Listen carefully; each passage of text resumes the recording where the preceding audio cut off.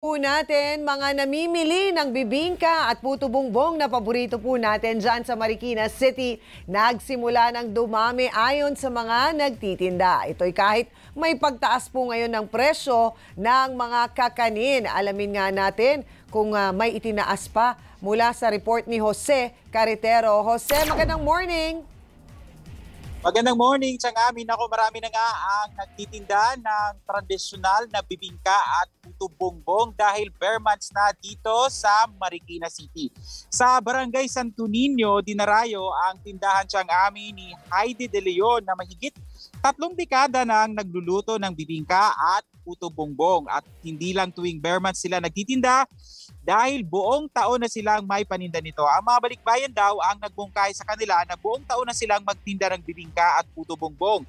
Pero ayon kay Heidi, mas mabenta ang mga ito tuwing bare months. Katunayan, nagsisimula na umanong lumakas ang bentahan. Pero nagmahal nga ng 10 piso ang bibingka at puto bongbong ni Heidi dahil sa pagmahal na rin ng mga sangkap dito. Ang bibingka nasa 50 pesos hanggang 70 pesos ang bentahan.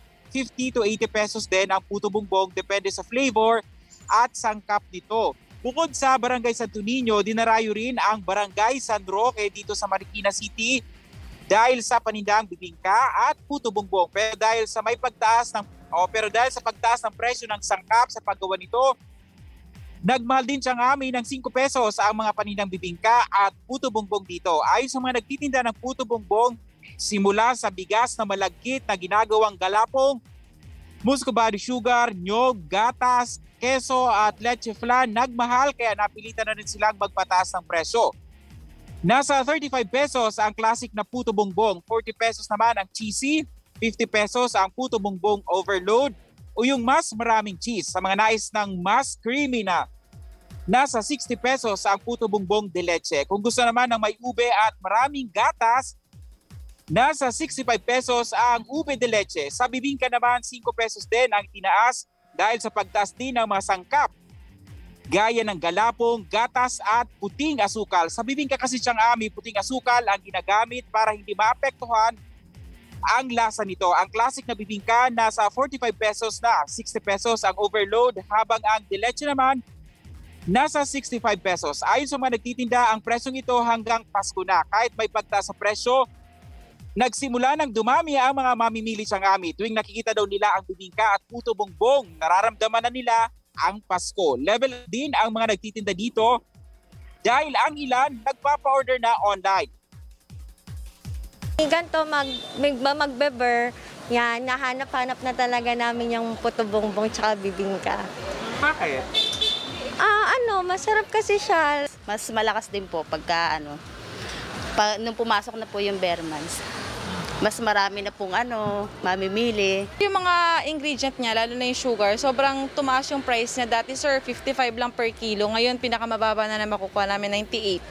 Tsaka tumaas din sir yung cheese, yung uh, mga baking powder, yung... Ang sabi nga nila sa amin na uh, hindi lang, i-ano namin na hindi lang Christmas makilala yung aming ano. Kaya iyon, inano namin, sinunod namin yung ano ng mga balikbayan. Sa amin, sa Barangay San Roque, hindi bababa sa 10 ang mga nagtitinda ng bibingka at puto bongbong. Sa mga nais makatikim ng bibingka at puto bongbong, bukas ang matindahan dito simula alas 12 ng tanghali hanggang hating gabi na yan. Ang iba inaabot ng alauna ng madaling araw bago magsara. Sa pagsisimula naman ng simbang gabi, 24 hours ng bukas ang mga tindahan ng bibingka at puto bongbong. Siyangami. Kamusta Jose? Natikman mo? Masarap ba? Masarap ang kanilang kanilang mga panindang bibingka at puto bongbong, mas masarap yung uh, puto bongbong na original lang ang pagkakagawa. Pero Pareho may mga level tayo. up nga silang ano, uh, mga paninda may yung may binala, nilalagyan ng maraming cheese, oh, pero leche flan, yun ang mga bago yeah. nilang mga paninda. Parehong pareho tayo ng paborito. Mas nile-level up nila pag papalapit na Hindi uh, ako pinapansin ni Jose. Uh, kapaskuhan. Siyang amin. Alam niyo, Tiyan, kung saan ka papunta. Oo, uh, masaya ako ngayon, Jose. Ikaw ba, masaya? Masayang masaya ako sa amin at nakatikim na tayo ng bibingka at puto bongbong. Masasaya kami pag natikman din namin kung ano man yang natikmang mong puto bongbong at bibingka. Alam mo na, dito sa Kay... Sakto, may bibingka serye.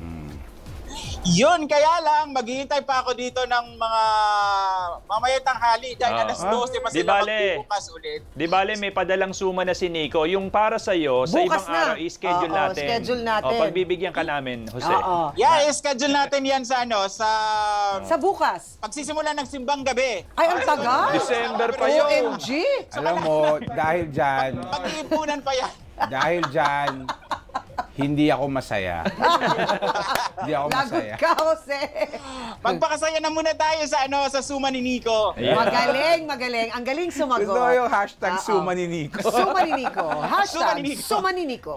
Gusto na namin ma-achieve yung hashtag Puto Bongbong ni Jose. Ay, abangan natin yan. Ha. Maraming salamat. Mag-iingat yan po si Jose Carretero. Marunong sumagot ang bata mo. Ha? Aral eh. eh. Aral, ah. Pero mas mabagsik si Nico dahil may dalang Yes, suman thank dito. you, Nico.